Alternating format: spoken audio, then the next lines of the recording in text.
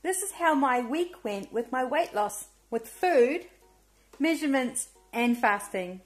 Hi, I'm Tania from Drawer Full of Giants. And it's my aim to inspire, equip and encourage you if you're on your own weight loss journey, especially if you're over 35. So let's get straight in to the exciting stuff that's happened for me this week in my now fourth month on constant coming down the scales of weight loss. So I've lost 15.2 kilos in the last four months and that is I think that equates to 33.5 pounds. Isn't that like cool? Come with me and I'll show you exactly what 15 kilos looks like.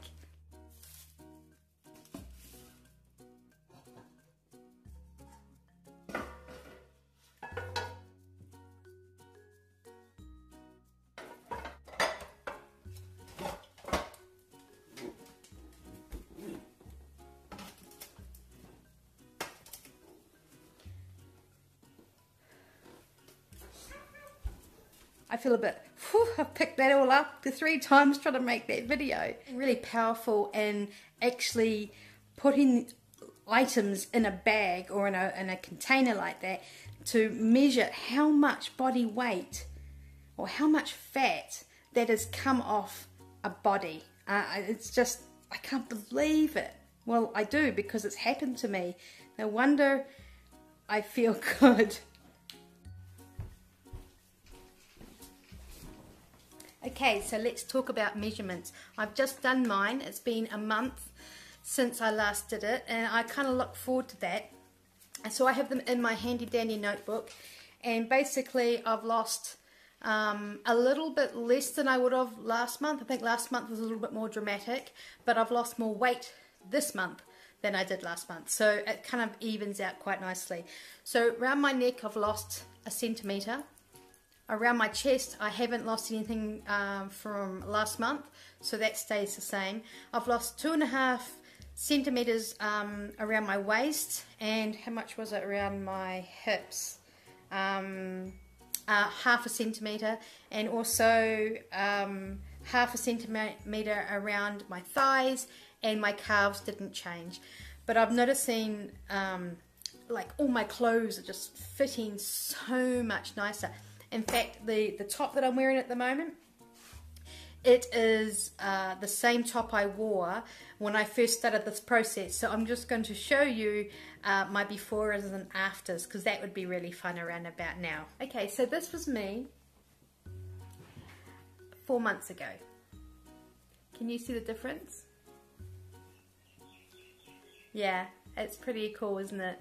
And this is me one month ago. And this is me now. Hey? I'm really pleased with the results. It's been really exciting to see everything come down in scale. So how am I making these changes? Um, eating one meal a day and uh, going from intermittent fasting and I found that that's really um, been really the key factor for me to naturally lose weight. It's actually been no effort. Um, fasting is an incredible thing for your health. Um, I actually have made a companion video today that uh, talks about um, why I've done this and, and learn about intermittent fasting, so you're welcome to go and visit that. So I found that intermittent fasting for me is very simple and very easy. I do not feel that I'm depriving myself of any food. In fact, um, I'm able to eat anything, everything that I want. I've chosen to eat my meal every 23 hours which means that I am water fasting um, for the well practically all of the day and then I have a small window of an hour um, where I have what I want to eat. I bought this small plate and that helped me just think about food in a, in a um, like less than way. This has become normal for me. I've learnt to eat to um, satisfaction I seem to be more attuned to uh, sensitivities, like I'm definitely gluten intolerant. This is what my weight has looked like this week on the graph that I use in my app, which is called Monitor Your Weight. See how it comes down constantly. Monitor your weight is actually quite cool. It lets me have the the um, daily averages and the weekly averages of what I'm losing, and it just keeps this lovely visual of what I'm doing and giving me the fullness of what's actually going on and I really delight in looking at it on an almost daily basis. Speaking of daily, I actually weigh myself every morning. I, I see how I'm going. So if I have a spike, I know why I've had a spike. So the other app I have is called Vora and that is a fasting app. That lets me know how well I'm doing with my fasting. I've only just downloaded it, so I've been using it for about four or five days. I don't know if I'll continue using it because I'm in the habit of doing what I'm doing. So with my commitment to myself that I'm not going to get hung up on the the scales and what they say on a daily basis, I've actually been quite true to that. But in all honesty, you're always happy when you see it go down and you're not overly like thrilled to see it, you know, go up. And um, that happens. Your body fluctuates every day. My body has, and but when I looked at the whole picture, if you can see here, everything's just constantly going straight down, which is absolutely wonderful. So I'm not trying to look at this as a big picture situation, which definitely helps me. This week I decided to do something a little bit different since now this is kind of my normal lifestyle. I decided that I would have a 72 hour fast.